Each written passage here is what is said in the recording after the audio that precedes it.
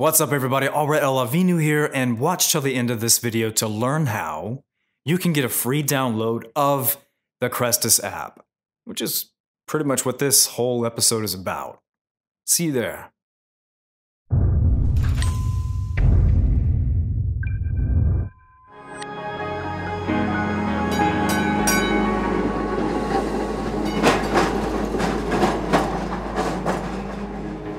So you've developed this app. Tell me more about it. Yeah, so uh, so with this um, other company, I've developed an app. Uh, it's very primitive in stages right now, but it's still available. It's uh, available for um, iOS and uh, um, Android, and for mobile devices. And it's called Chrestus, uh, C H R E S T U S.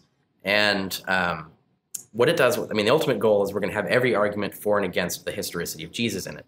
But uh, the side thing that's in there is it has a Bayesian calculator that uses the odds form that I talk about on the board that other night. So it actually has a calculator in there where you can actually fill in the figures and it asks you questions and you can actually create evidence and label it and put it in and actually see the effect of evidence mathematically on the conclusion. Uh, so if you want to have like a handy little tool for do, you can be applied to any argument, not just the historicity of Jesus, just any argument you ever make, you can actually walk yourself through the prior probability, the likelihood, and so on, and actually see like, well, if this is this is the odds that I think this has, and these are the odds that I think that has, the conclusion has to be this, right? And so the only way you can get away from that conclusion is to change some of those other estimates. So you start to understand the structure of your own reasoning, the structure of your own arguments. It's a really handy tool for figuring out how Bayes' theorem works and for applying it to actually make your arguments better. Is this public now, or yes, it's available now. Uh, it's uh, like I said, the, the the argument tree is still primitive. It's so we got to build it out more, but the calculator is there, all usable. Uh, I highly recommend it for people who want to like tool around with this stuff. I'm doing that after this. Okay, yeah. and where can people find that again? Uh, on Apple Store, um, you know, the application store, and on Android, uh, Google Play. I'm glad it's on Android. Android always gets like left out sometimes. Oh. Have you uh, heard of Blank, uh, Blake Giunta? No. Mm.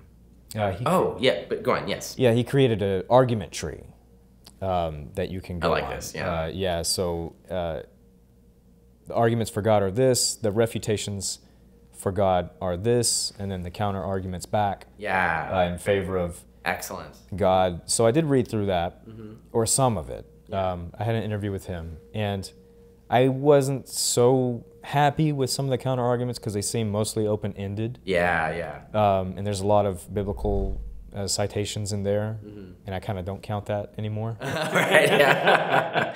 yeah. Um, but I imagine other Christians will look yes. at that and think that's exactly what they need, mm-hmm. um, and they might think you're trying to trick them. Right. So, how do you respond to that? Well, uh, I mean, whatever responses you get, you start building it out further, right? That's the goal ultimately. We're going to have this built out to the point where every argument pro and con gets in there. It's not all in there now, but it will be eventually, and it'll be better organized. So, um, yeah, that's the fundamental goal of this: is to have that where you can go in and find it, and it'll be it'll reference scholarship at the end, so you can go and research the stuff yourself if you really want to like go further, really question something. Uh, it'll have the resources. It'll point you to the resources for further research. So that's the goal, and I think for this, this will just apply to the historicity of Jesus, not to any other uh, argument trees. But that's that's what Chrestus as an app is for. Essentially, what it's given back to people then is the probabilities of right. this being true or not true exactly. regarding the historicity of Jesus. The odds that Jesus existed or not, given your assumptions. So you can actually like these are the assumptions I'm making. And then of course you have to ask why am I making these assumptions? But that's that's where the argument goes, right? Yeah. So one of the valuable things of this is and I think this is what happens a lot of the times that people will pick one argument in this whole debate and focus on that and not pay attention to how does that even change the probability in the end, right? Like they, they don't think in terms of like, is there even a point in challenging this? Like even if we remove this, do we actually get the probability up any? Like what, what's the effect of my challenging assumptions versus not having them? So uh, this calculator allows you to, to actually test that. Say like, well, what if I say this? And what is the effect of that on the probability that Jesus existed? And then of course you have to ask like, why am I assigning this probability to this thing? But that's the whole point of it is it shows that you have to make these assumptions. You have to make these assumptions about probability to get the conclusion that the historicity of Jesus is probable. And so this forces you to acknowledge that, and then it forces you to ask, why are you assigning these probabilities in, in the assumptions and the premises? Like why why those probabilities and not others? Uh, and I think that's really the value of Bayesian reasoning to history in general, is that it forces you to actually examine what your assumptions are and to question whether those assumptions are valid. Uh, and and that's the whole structure of it, and that's one of the useful things about the Chrestus app. Do you think Christians would appreciate using that app? Who knows? I I, I don't know. I, I have a lot of people, um, even though their arguments and their reasoning is mathematical, they just don't know it. But people have a hard time going there and sort of like committing to understanding how and why their arguments are mathematical. And I think to an extent, our culture has anti taught people math, that we've made people hate math and not think that it's something they can't understand, which is unfortunate because in reality, almost everything you do in life is mathematical. Uh, like your, all your business, all your life, there's math in there, everything you're doing. And we haven't taught people to appreciate that or benefit from knowing that. Like once you know that, there's so much more you can do. Uh, and, and this includes like how we make arguments, how we come to conclusions, because we're just making conclusions about probability so we better understand probability theory. We better understand how is our brain constructing these probabilities for us.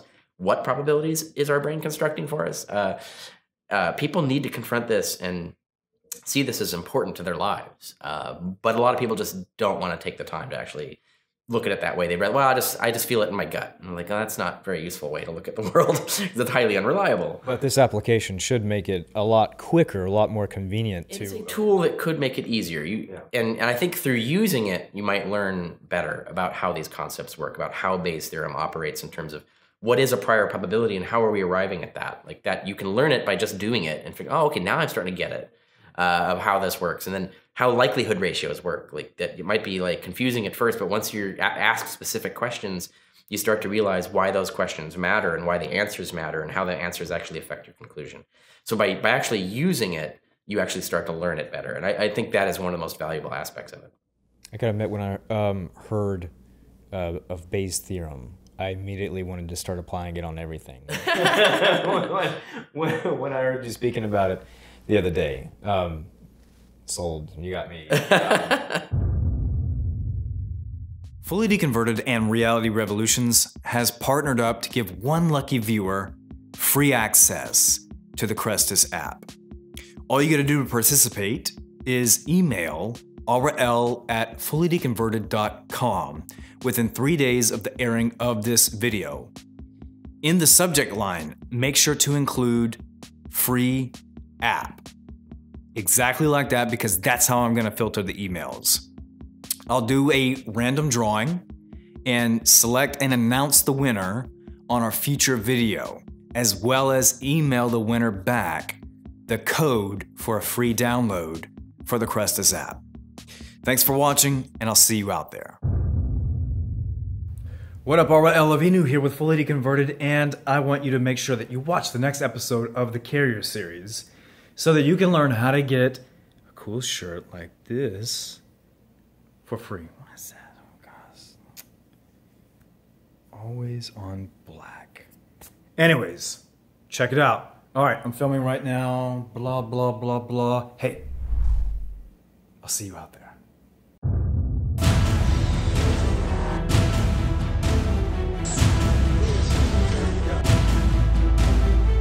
You build a reliable worldview from scratch. How do we know our particular pieces of these worldviews are correct and not someone else's?